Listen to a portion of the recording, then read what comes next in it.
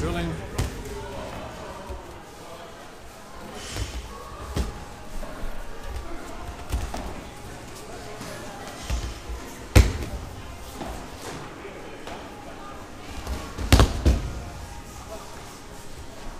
So, made no videos for two months. Finally trying again. Okay, guys. So.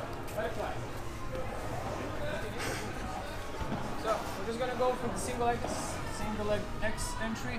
So, we control both elbows, slide in, pull his elbows towards us, get him on our shins, kick up and open your arms up.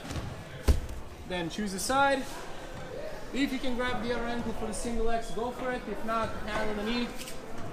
Press. And we're just gonna go. We're just gonna go for a sweep uh, for now, so we can do this back and forth. So hook his leg. Hit the sweep. Come up. And he goes. So grab the ankles. Here. Slide up. Gets the single X, Goes for a sweep. Hooks my leg so he can come up.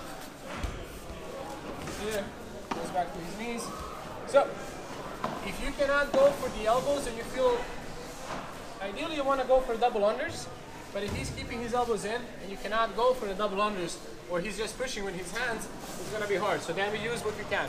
So if he's pushing I me, not letting him go for double unders, so just use that to elevate him. Sweep. Now you can hip escape and come up with one leg, but ideally you hook and you come up with both legs. So when he's trying to go for the double unders, I push him, then I give him my elbows.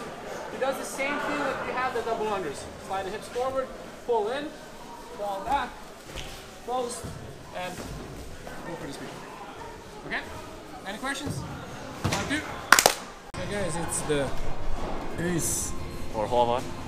That's my uh, human name. Yes, Ace won uh, recently a gold medal.